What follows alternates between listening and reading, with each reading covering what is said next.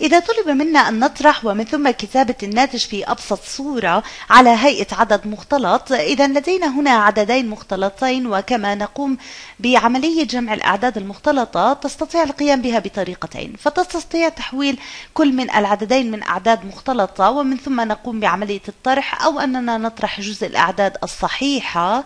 ومن ثم نجري العملية على جزء الكسور. إذا لنستخدم هذه الطريقة. ولنقوم بالتذكير أن خمسة وخمسة على ثمانية هي نفسها خمسة زائد خمسة على ثمانية. فهاتان القيمتان متساويتان. إذا نطرح ودعوني أكتب إشارة آه، آه، الطرح باللون الأزرق. سنقوم بطرح اثنان وواحد على خمسة. لكن اثنان وواحد على خمسة هو نفسه اثنان زائد واحد على خمسة. هذه هي حقيقة اثنان وواحد على خمسة.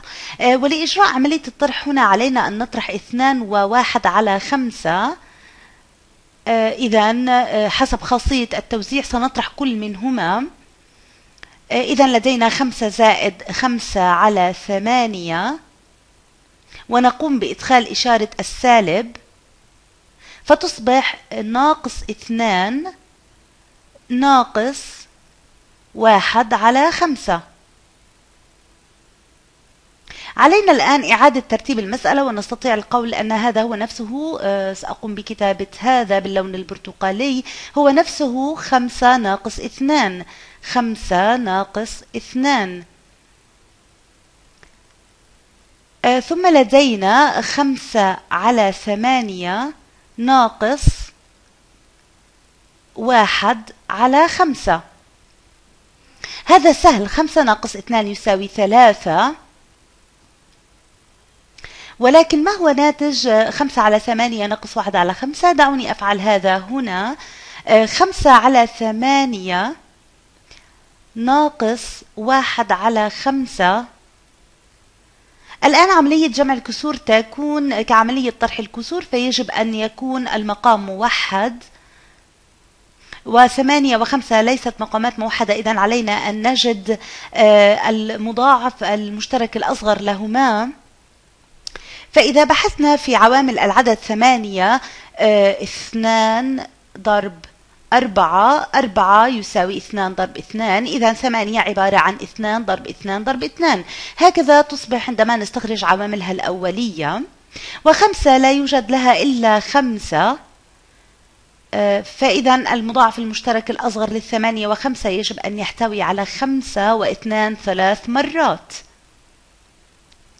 أو بكلمات أخرى يجب أن يحتوي على خمسة ضرب اثنان ضرب اثنان ضرب اثنان وهي تعطي نفس قيمة ثمانية ضرب خمسة. إذا المضاعف المشترك الأصغر يجب أن يكون ولأن هذه الأعداد لا يوجد بينها عوامل مشتركة إلا الواحد. إذا فالمضاعف المشترك الأصغر سيكون ثمانية ضرب خمسة. المضاعف المشترك الأصغر هو أربعين. سيكون أربعين في المقام. الآن لنذهب من ثمانية إلى أربعين آه، علينا أن نضرب بخمسة. آه، وعلينا فعل نفس الشيء للبسط. هذا يعني أننا يجب أن نضرب ثمانية ضرب خمسة ويساوي أربعين ونضرب البسط خمسة ضرب خمسة خمس وعشرون. أي أننا نضرب بخمسة للبسط والمقام.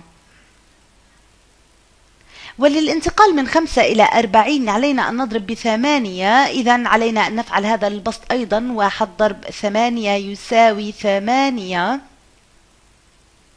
فيصبح لدينا خمس وعشرون على أربعين ناقص ثمانية على أربعين.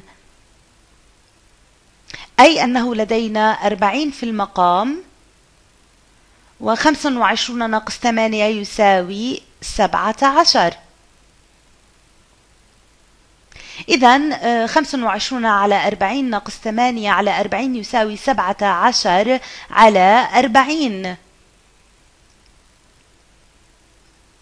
وسبعة عشر هي عدد صحيح ولا يملك أي عوامل مشتركة مع أربعين أو على الأقل أربعين لا تقبل القسمة على سبعة عشر. فهذا آه، آه، الكسر يكون في أبسط صورة. وهذه الثلاثة صحيح والكسر سبعة عشر على أربعين إذا نقول بأن الناتج ثلاثة وسبعة عشر على أربعين ونجحنا في هذا. وقد تمكنا من فصل هذه وحل المسألة بأسلوب مباشر لأنه في هذه الحالة الكسر الذي قمنا بطرحه من الكسر الآخر كان أصغر وإذا كان أكبر سيعمل على تشويشنا قليلا وربما سنحصل على إجابة سالبة ولن نتمكن من إتمام حل المسألة. ولهذا السبب يكون أسهل أن ننتقل إلى كسر غير صحيح لكل منهما. ولكن نجح الأسلوب في هذه المسألة.